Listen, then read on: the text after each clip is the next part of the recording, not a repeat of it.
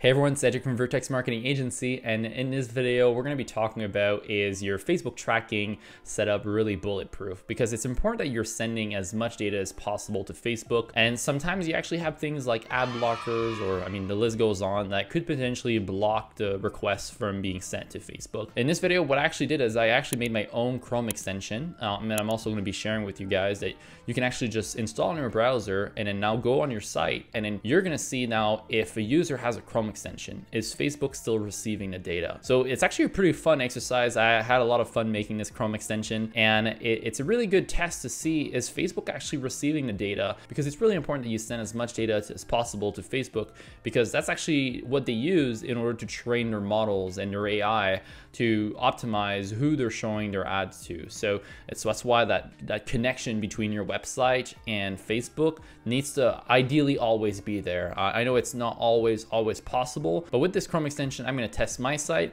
but then you're gonna be able to use it for free. Um, you don't even need to give an email or anything. You can just download it and you're gonna be able to also test your site just to see if your site is bulletproof, right? So with that being said, let's get into this week's content. All right, so I am now on my website. In order to uh, make this test, you're gonna need a few things. So the first thing you're gonna need is the Facebook Pixel Helper. So that's a Chrome extension that you can download.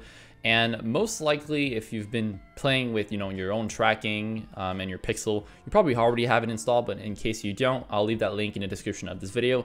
Guys, by the way, this is totally free to install if you're not familiar with the tool, but here it's showing that I actually have two pixels set up on my website and the, you can see here it's like lighting up it's showing the number two um, and also the like the I guess the background of this Chrome extension is blue. That usually means that the pixel like Facebook was able to receive my data. Whenever it like it just like stays gray then that usually means that the pixel wasn't able to load on the website. And you'll see when we add my Chrome extension it's going to be gray um, and then I'll also explain how we could potentially fix that but uh, that's going to be uh, you know the punchline of this video but um, this here is showing that everything is working correctly and then excuse the amount of Chrome extensions I have here, but the only important ones right now are this one. And I'm also going to show you this one. So this is the Google Tag Assistant. Um, and uh, this basically just tells you if you have something like Google Tag Manager installed on a website, maybe you have Google Analytics 4. So this is what this Chrome extension does. Again, right here, it's showing that everything is working correctly. Uh, as you can see, there's a lot of things installed on my website just because A, I mean, I, we're a marketing agency, but also is because uh, we have the YouTube channel. So we do a lot of videos on how to set, you know, all that cool tracking stuff. So that's why I have a lot of demo accounts. But uh, as you can see, things are all loading properly. They're actually all loading and um, that's all perfect. Now, what I'm gonna do is I'm gonna install my Chrome extension and uh, I'm gonna show you what happens when that gets installed. So I've actually made the Chrome extension. So it's a pretty simple Chrome extension, but it works really well. And uh, you can actually get the link, but it's gonna be in the description of this video and then you're gonna see it, it's gonna be in a folder like this, all right?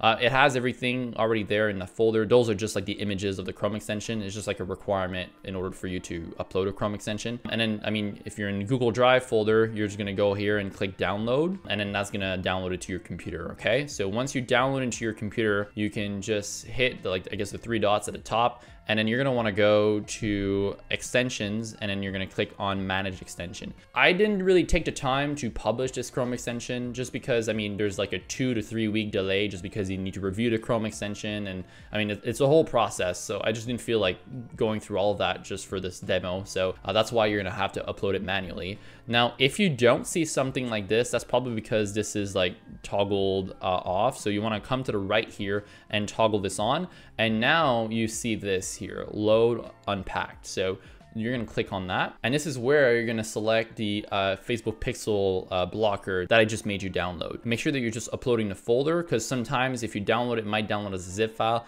So make sure, yeah, you're just uploading like the, the root folder. Uh, but then when you upload it, you're gonna see something like this here. Now, if I go back to my website and if I reload the page, you're gonna see, right? Remember what I told you um, earlier? When it's gray like this, that means that the Facebook pixel wasn't able to load, right? So nothing here loaded. And if I click here, here you can see that it, it detected something, but we've got six errors here. We can see that it was actually blocked um, and it wasn't able to load.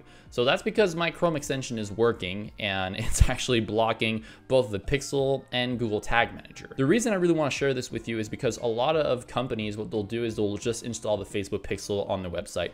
They might use Google Tag Manager to do it, or they might actually just manually install on the website. And if that's the only thing you're doing, in this example for my website, Facebook is not receiving anything because I it's being blocked right now. And what I've made here is a pretty simple ad blocker. Like real ad blocker companies, they have like a full-on team that's just dedicated to their solution, right? So it's gonna be a lot better than what I have here. And what I'm trying to say is if my ad blocker was able to basically disarm your Facebook pixel and Google Tag Manager, imagine what a real one would do. Please remember uh, or note that this one here, my Chrome extension, only will block the Facebook pixel and Google Tag Manager from loading on, on your website. It doesn't do TikTok or Pinterest, but like a real one would do is just, again, I've literally made this just for a demo. And I think I even went a bit overboard just for a demo. But now that you understand the problem and what that could potentially do to your tracking, let me explain how this is happening. And then after that, we'll talk about a solution. So how is this happening? So when you install the Facebook pixel on your website, so this could be like manually, this could be using an app or a plugin or potentially inside Google Tag Manager. So what it does, it just looks at all the scripts that are being loaded on the page and says, oh, wait, actually, I found this script that is trying to send data to Facebook. Well, let's just go ahead and block that script. So it loads all the other scripts, but just blocks this one. So that's how we can only block the Facebook pixel script or the Google Tag Manager script without affecting all the other scripts. It doesn't touch all the other scripts. So that's why like everything else on the website works properly. It's just not that Facebook pixel script. And that's usually what an ad blocker will do, but like times 10. And um, that's, that's what's causing the issue, right? And if you look at Google Tag Manager, if I open this up, if you have Google Tag Manager installed on your website, then this is probably what you had to do. So you had to install the script in the head section and install the script in the body section. And if you look here, it's actually loading it with the Google Tag Manager domain. So same thing, my Chrome extension looks at this and says, hey, I know Google Tag Manager. I know why people use that. So I recognize this script. Let me go ahead and block that script. So now it won't be able to load on the page. And that's why if I just show you, if I hit preview, and I try to connect to my website,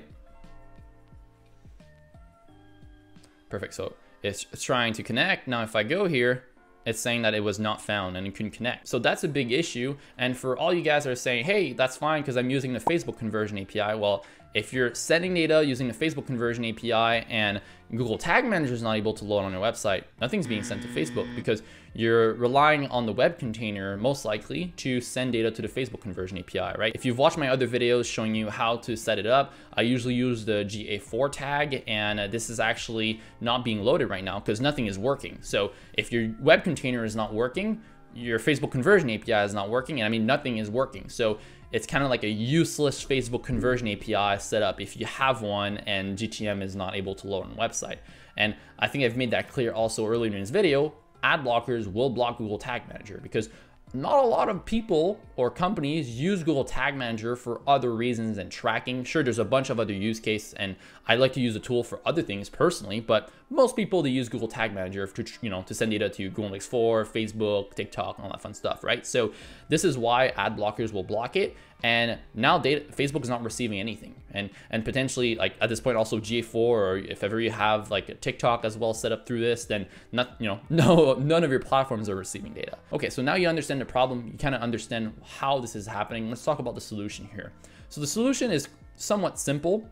And uh, basically this is what it is. So when I'm opening this code here, we just need to change this. And this is called proxying Google Tag Manager. So instead of loading the Google Tag Manager uh, library on your own domain, what we actually do is we load it on a subdomain. So the subdomain, I also recommend that it's first party, uh, but my Chrome extension, the way it works is if even if it's like third party, it's still gonna work properly. Ideally, what you do is you load it on your own subdomain because it stays in a first party context. So a good example would be, I don't know, uh, server.vertexmarketingagency.com instead of Google Tag Manager.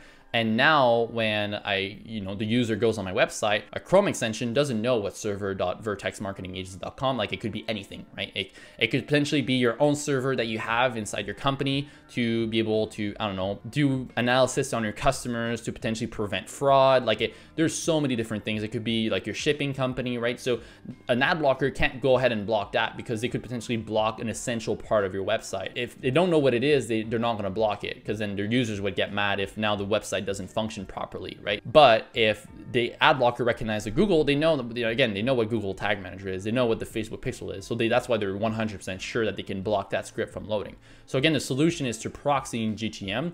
I'm not going to show you how to do that in this video because I've made another video showing you how to do that. This was more of just like an example and for me to show you actually what happens when an ad blocker is installed and why your conversion API setup might not be as good as you think it is. But the solution to that is to also proxy in Google Tag Manager.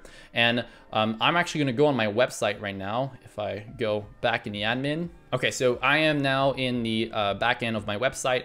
And let me actually just show you what happens when I proxy the Google Tag Manager script. So this script is now proxied. So I'm to paste that here. And now this is proxied as well. I'm to save this. Perfect. So now I just updated my Google Tag Manager script and um, I'm actually using a Stape server to do that. And as you can see here, it's not loading with oh, it's not it's not loading with the Google Tag Manager domain. It's actually loading with a different subdomain. Again, ideally it's first party, so it, it would be my subdomain here. But now that script, when it's looking to potentially block Google Tag Manager, it's not going to find it inside that script, right? So that's been saved now. If I close this and preview again, so I'm going to preview my website.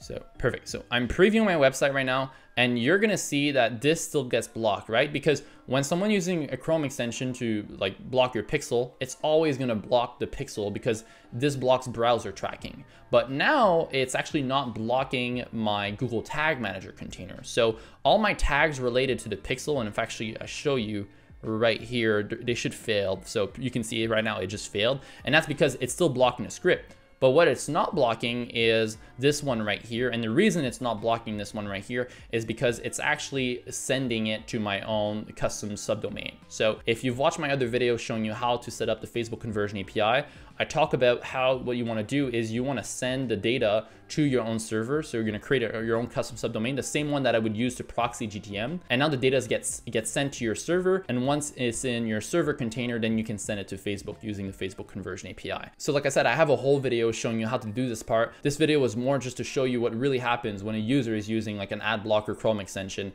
and how, you know, like your, your maybe your setup isn't as good as you think it is. But guys, um, that's pretty much it for this video. So I wanted to show you how uh, an ad blocker will actually block your pixel and Google Tag Manager from loading on your website. But if you proxy Google Tag Manager, then the ad blocker, I mean, hey, some ad blockers might still find a way around and who knows, maybe in a few months, it, we're gonna need to do a different approach because the ad blocker community would have a new way to block Google Tag Manager. It's a bit of like a cat and mouse game, but for now, this works really well, and I've tested that with also other ad blockers. And uh, let me know in the comment section if it also works for you. And also, if you want to keep the Chrome extension, you're more welcome to just keep it in your browser, and it's just going to block all Facebook Pixel and Google Tag Manager for other companies. But if ever you don't want that, I recommend uh, just like, removing it from your Chrome because it might also interfere with your when you're trying to test uh, your your setup, right? So maybe you want to remove it because there's no on or off button. As soon as you install it to your Chrome, it's activated, right? But to remove it, you can kind of click on the the puzzle right here and uh, and then it's actually right here. So right so you can hit three dots and click on remove from Chrome extension. But guys that is it for this video. Hopefully you've learned something new and you've learned a new trick to improve your tracking setup. But that is it. Bye for now